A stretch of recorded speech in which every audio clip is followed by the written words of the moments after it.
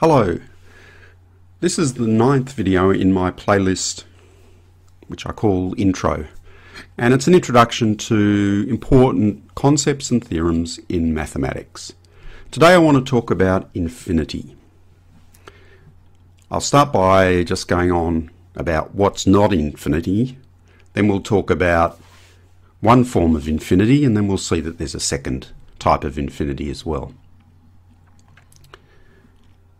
So here's a set that contains three elements, A, B and C. So because the number of elements in the set is either a counting number, 1, 2, 3, 4, 5, etc., or it's zero, we say that it's a finite set. Good. Now let's look at another set. This is the set of counting numbers, and the set of counting numbers is not finite. If you just work through what I just said in terms of finite sets, you can't do that in this case, and so we would say that this is an infinite set. Now let's consider the set of integers, which I've represented here, and you can see just one middle part of it. It goes on, there's an infinite numbers to the left and to the right, where I've got the three dots on both sides, but in the middle we've got negative 2, negative 1, 0, 1 and 2. Now the number of integers is also infinite and in, in fact it's the same infinity as the number of counting numbers. We say it's countably infinite. So I want to show you how we would how we would demonstrate that the number of integers is countably infinite. What we do is we work out a rule that links every counting number with a unique integer and in turn every integer is uniquely linked to a counting number.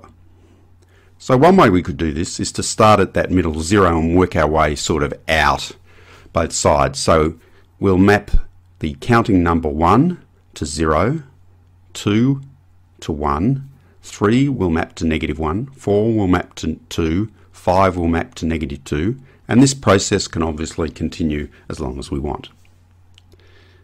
In fact, you can actually work out an algebraic expression that shows us how I've done the linking. We can say that we'll call it a function f.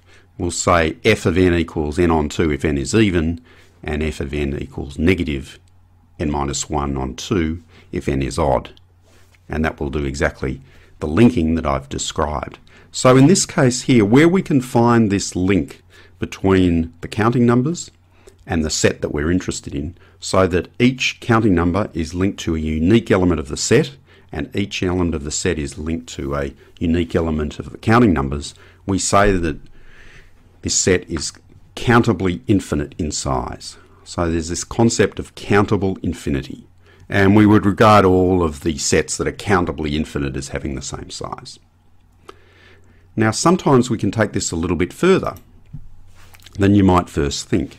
So now let's go from the integers, let's go to the, the set of all positive fractions, also known as the set of all positive rational numbers. So let's think about the number of positive fractions. Once again, that's infinite, but is it countably infinite? Well, it turns out that it is, and we can demonstrate that in this way. I'll create this table here where I I, I basically list every single fraction. And to do that, I'll call um, this, we'll have here the numerators and here the denominators. And every fraction is made up of a numerator and a denominator. They're both counting numbers, so I've listed them, I've started to list them here. Now, the next thing is that we don't regard the fraction 2 fourths as being different to the fraction 1 half. So what I'm going to do is start to cross out all of those fractions that are not simplified, or all of those fractions where the numerator and denominator have a GCD or a greatest common divisor not equal to 1. So all of these ones here, we'll just start knocking them out. Now we can do our mapping from the counting numbers to what we've got left of all these simplified fractions. So we'll start here with 1 on 1, then we'll go, uh, let's go across to a half, then down to 2 on 1, then we'll go down to 3 on 1, and then we'll skip across 2 on 2, because that's not included, and we get to one third. Then we go across to 1 quarter, down to 2 thirds, down to 3 on 2, down to 4 on 1.